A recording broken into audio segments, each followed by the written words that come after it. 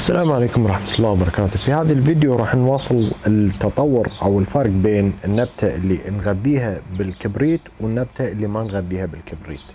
طبعا أول فرق لاحظته أن مثل آم، هذه النبتة ما شاء الله حجمها أكبر بكثير من هذه النبتة ولكن ما فيها أي تزهير ما فيها والله فيها بداية تزهير شيء بسيط هني ولكن ما فيها أي ثمر حاليا. هذه ما شاء الله حاملة ثمر كثير وفيها فيها ثمر وفيها زهر كثير. فهذه قاعدة تنتج هذه لحين ما انتجت. ولكن ما دام فيها بداية تزهير إن شاء الله ممكن نشوف منها آه ثمر ونقدر نقارن نتيجة آه تغذية بالكبريت والفارق في الحرارة. مثل ما ذكرت في الفيديو الأولي إن النبتتين قد يكونون مختلفين لأن أخذتهم من آه من بذور مخلوطة.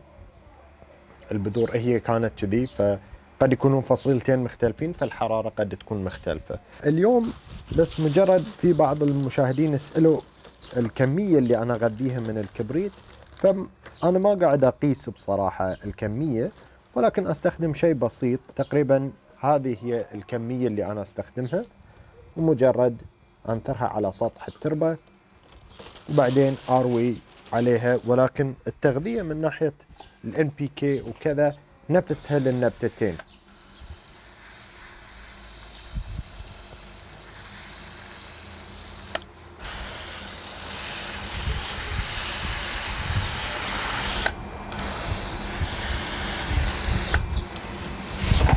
فالنبتتين يحصلون على نفس نوع ال NPK وبنفس الكميات آه، على أساس النمو. فإن شاء الله راح نواصل متابعة تطور النبتتين وإن شاء الله إلى أن نوصل إلى هذه الثمر.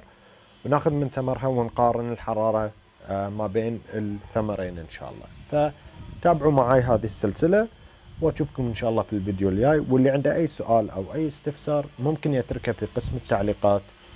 وراح إن شاء الله أحاول أجاوب أسئلتكم بأسرع وقت ممكن. في أمان الله.